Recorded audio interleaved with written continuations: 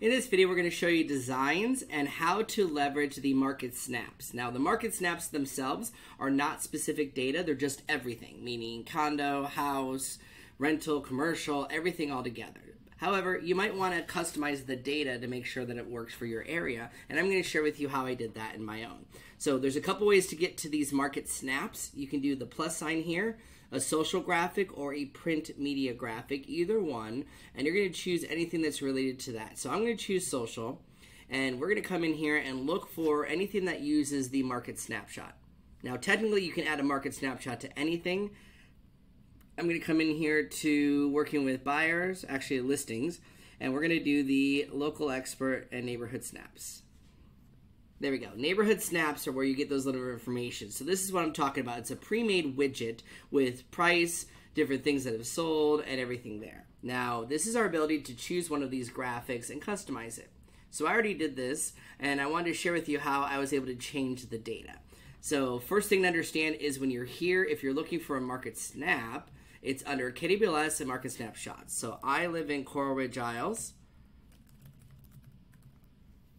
This allows me to find my neighborhood, come in here, and you're to get two pre-made widgets ready to go. Now, I'm to add it to this graphic just so you can see. They've got one in a uh, linear version, and then they've got just a picture of the map if you wanted just that, which I do like, and then the graphic itself. So I really like this the image of this graphic. So here it is, and look at the discrepancy. This is what pulled up. This is what I customized the data to say. So here was how I had done that. I'm actually going to go in here and you're going to see I added a couple different things. So first thing is, where do I get the data to begin with, right? This is everything, active, pending, days on market, price per square foot. Well, I went to the MLS, and in the MLS, I was able to do, you know what, I just want data for single family homes only, because that's a different market in my area. And I'm looking for active, active under contract or backup, pending sales, and closed in the last 30 days. That's just what I'm looking for. Now, I leverage the MLS by going to the map and drawing my shape. So this should match my neighborhood map that is inside of Command, and this is where I'm targeting Coral Ridge Isles. So because of that and my criteria, now when I come to results, guess what? I've got four active homes. I've got three backup and under contract. I've got seven here of pending under contract. so this is able to pull up all that data. What I like is the MLS, and Matrix in this case, has the ability to select all of these and come here to the stats button. This allows me to quickly get the data I need for my graphic. Perfect, so I've got what I need now. So it looks like there's seven pending, three active under contract, which means 10 under contract total. I've got four active and six that have sold. Perfect, so I'm gonna come in now to this design and that's what we're changing. So how I did this is I actually came in here and I'm going to pull a shape first. So I need a shape. I'm going to use a simple square in this case and I'm able to resize it. Now the first time you do this, it is a bit of a time consuming and I'm going to come in here and choose black, black on the frame and make sure that is truly black. So I'm going to come to library colors and I'm going to choose company and make sure it is black, black. There we go. Okay, so I've got my black colors chosen for both the outline and there, and there you go, it's hiding it. I'm good with the average list price, but I want to put my own here. By the way, I can just sit there and say Control C to copy this, Control V to paste, and I can take this shape and cover up the sold price. Perfect, so I've got those two numbers done, and I'm able to add a text box. So I'm coming to text box here. I'm going to move it up. We know that we need the color to be white and I could just click and shrink this down to where I need it. Perfect. So if I pull up the data here, if I go off of closed sales price, our average sales price is actually 578 750 That's what closed. The active under contract right now, the average sales price is 706,000. So that's what I'm going to put in here. 706 is what the listing price is for the average. And then I'm actually going to copy and paste that text box, copy, paste and I'm going to put it here for sold price because the average sold price though is lower and that is going to be this number here 578 750 so I can come over here put this in okay and I might just want to round that up to 580 if you're trying to make it more universal numbers whatever you're trying to do so there we go now I'm updating that data. So this wasn't too far off. It looks like when I did this last, the data changed a little bit. So I'm going to put that for 706, 000. Change this one to 580. Okay. So you see how I'm doing this. All right, that's how I did the top one, adding a shape and adding a text box. Then I'm going to come in here and add another shape, but this time we're going to do a square and we're going to do it in white.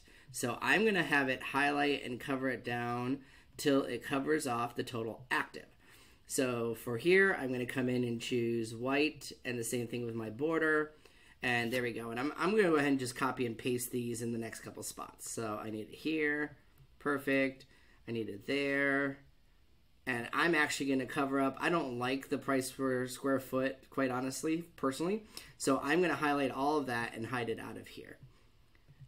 There we go. So now I need to add text box and just add text for the total active. So I know right now there are four active homes in this neighborhood. So control, there we go, control A, number four. Okay, so I can go ahead and take that text box, resize it, and center it or do it here and center my text. There we go. Okay, so I've got that. I'm going to copy and paste this number, go into my next, so total pending. We're now at 10. That's probably where the numbers change. Okay, then I'm going to take that copy and paste that one. Days on market. Well, we already did this for the closed, so the closed now is 15 days on market. Perfect, so I'm going to put that in here. 15. Okay, and then I did not like the actual price per square foot. So what I'm going to do instead is put down our actual closed units. And I doing this here, so number of closed units was six sales in the last 30 days. So I'm going to put in six. And then I do need that little header up above. So again, I'm going to add text. And we're going to say, do homes sold perfect. I'm going to go ahead and change that. I need it to be a bold text. I'm going to change the size of it so it's similar to there. There we go. I might need to change the font altogether, so we're going to try one of these other fonts and see what I can do to find this one to match as much as possible. Hmm, that's a little closer, okay. And I honestly think it's the coloring is more of a gray, so I can change that as well. But there you go. That's how I change this data. So now that I've done that and I've tied all these together, guess what? Next time when I come into this design, I don't have to redo it all. So I'm going to go ahead and delete these out of here because I've already done this design. I just wanted to share with you what I did to change all this data. Perfect. So now I've got it customized. Things are heating up in Coral Ridge Isles. I've got an image. I can also just drag the map over if I want to replace that. I've got my graphic down below. So there we go. Got to change this to say we have 10 pending. Average days on market was 15.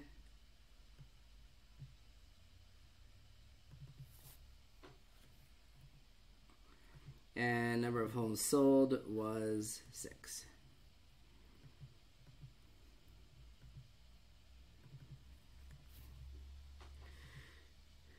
Okay. So now the next time I come in here, guess what? I don't have to redo this whole thing. I just need to come in here and modify the little bit that had changed. So that's how we can use this. I hope you found value in this video. Be sure to like it, leave a comment. I'd love to hear from you. And as always, you can follow me on KW Connect and YouTube today.